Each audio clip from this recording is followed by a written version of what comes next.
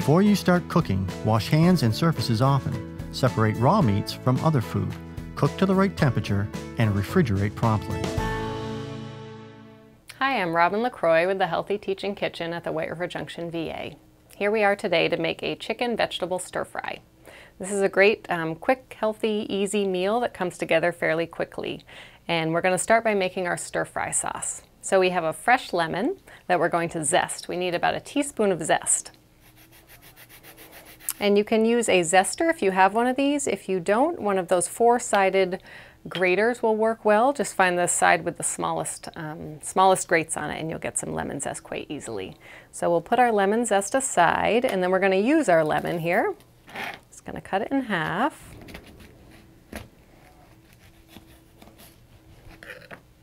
And we're going to squeeze all the juice out. And I often squeeze this right over your nicely cleaned hands. So if any seeds come out, they fall right into your hand and you can just toss those aside.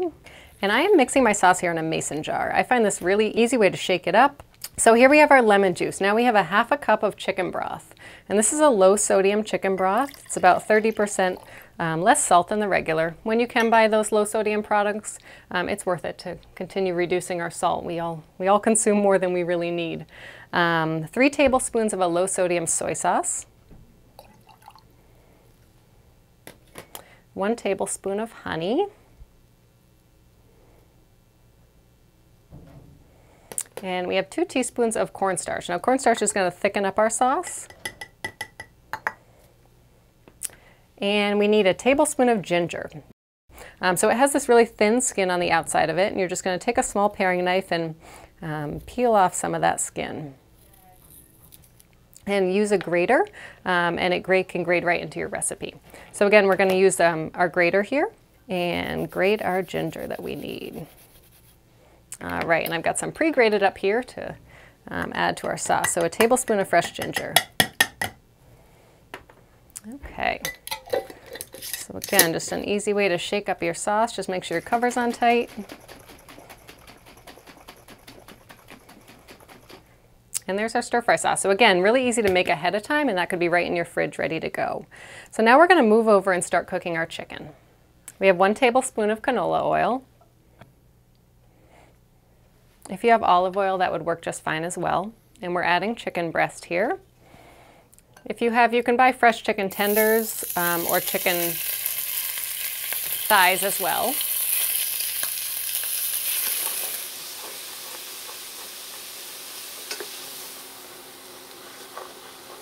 All right, so our chicken takes about five minutes to cook here. You wanna make sure it's no longer pink in the center. And then you're just gonna scoop it out of your pan into a dish on the side. This just prevents the chicken from overcooking um, as you cook your vegetables. So we just leave our pan just like it is and add our vegetables in. Now today I am using um, three cups of fresh vegetables. I have carrots, red peppers, and broccoli. I'm gonna add these to our pan and let those cook. That's going to take, again, about six to seven minutes here. If you don't have fresh vegetables, you can also use frozen vegetables. So the frozen vegetable section is a really great resource. Lots of different choices. You want to look for a stir-fry vegetable mix. All right, so our vegetables are finishing up here. They've taken about six minutes, six to seven, depending on what you're working with. So we're going to add our chicken back in. And let this cook together. It's smelling really good. And then our sauce is ready to go in. Give it another shake, just make sure it's all well blended. pour it all right in.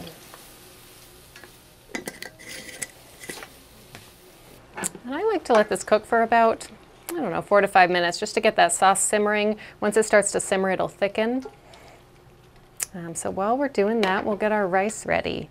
Um, we are using a brown rice today with our stir fry. Brown rice is going to have more fiber and a bit more nutrition to it. So there's a lot of options now. You can buy it in the frozen section, just microwave it. And you can also buy what they call kind of a 90 second rice, which you just pull the little tab on the side and put it in the microwave for 90 seconds. And it's done. It's pre-cooked. Um, and there's nothing added to it. It's just plain rice. So just be cautious of rices that have added seasonings or sodiums because those are again going to increase the salt in your recipe. Dish out a little rice here. I also like those um, microwave packets because it's two servings in there, um, so it's easy to portion control. So now we have our chicken and our vegetables and sauce mixed together here. It's come to a nice simmer and thickened up. And the last step we have here is to add back our lemon zest and our tablespoon of chopped garlic. And again, that's adding a nice splash of extra flavor with the lemon and the garlic without any extra sodium. So we'll just mix those in. All right, and then we're gonna serve this right over our brown rice. I usually make a um, kind of double the recipe so that I have it for lunch the next day because this is really good. So you have all your food groups here. You have your, your grains with the brown rice, your protein with your chicken and your vegetables, um, and a nice serving size here. And it's really delicious, so I hope you give it a try. The preceding video was published by the White River Junction VA Medical Center. Contact robin.lacroix at va.gov.